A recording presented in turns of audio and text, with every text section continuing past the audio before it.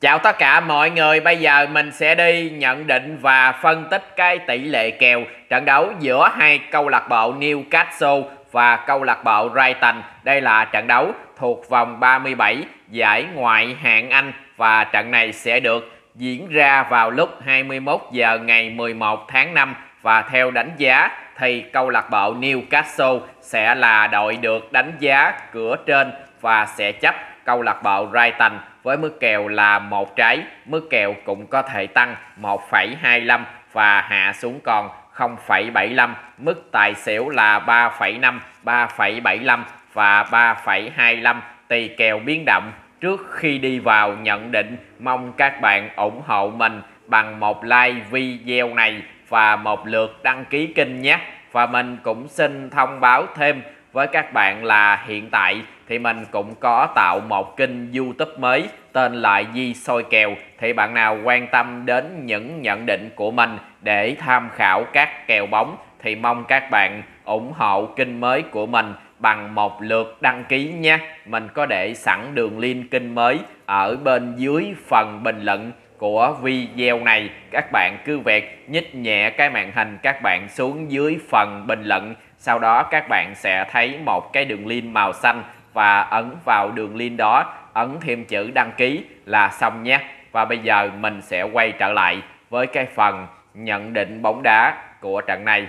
Năm lần gặp nhau gần nhất của Newcastle và Brighton thì mỗi đội có hai chiến thắng, còn lại một trận hòa. Năm trận thi đấu gần nhất của Newcastle thì Newcastle thắng 4 và thua 1 còn 5 trận thi đấu gần nhất của Brighton thì Brighton thắng 1 hòa 2 và thua 2 và ở lần đối đầu này với mức kèo như thế này thì theo nhận định của mình thì lần này mình sẽ đặt niềm tin vào Newcastle chấp một trái nhé.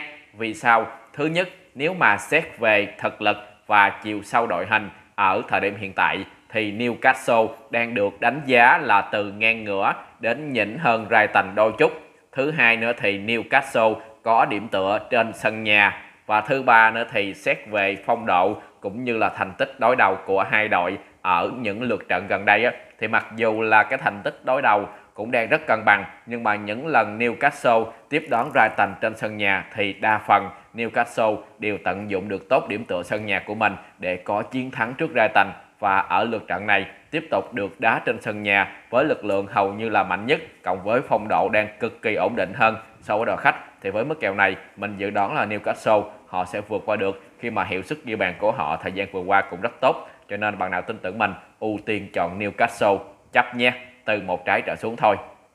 Mức tài xỉu là 3,5 3,75 và 3,25 những lần gặp nhau trước đây của hai đội á, thì đa phần cũng không có nhiều bàn thắng được ghi. Giá lại Brighton, mặc dù là họ không được đánh giá cao, nhưng mà ít nhiều gì, Brighton cũng là một đội bóng có thực lực, chứ không phải gọi là hoàn toàn quá yếu đâu ở lượt trận này thì Brighton hầu như là họ cũng có được lực lượng đầy đủ để đến làm khách trước Newcastle. Thì nhiều khả năng Brighton họ cũng sẽ gây rất là nhiều khó dễ cho Newcastle. Có thể là trận này Newcastle chỉ thắng được kèo trên mà thôi dự đoán sẽ là 2-0 hoặc 3-0 nghiêng về cho Newcastle. Bạn nào tin tưởng mình nữa thì ưu tiên chọn kèo xỉu 3,5 nhé ở mức hiệp 1 thì mức kèo chấp là 0,25 và tài xỉu là 1,5 dự đoán hiệp 1 với điểm tựa sân nhà và mọi thứ đang ổn định hơn. So với đội khách thì Newcastle sẽ có một hoặc hai bàn dẫn trước. Hiệp 1 các bạn chọn Newcastle chấp trước nhé.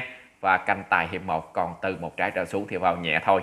Tóm lại trận này chốt kèo là chọn Newcastle và xỉu. Ở hiệp 1 chọn Newcastle, canh tài còn từ một trái trở xuống thì vào. Chúc các bạn may mắn.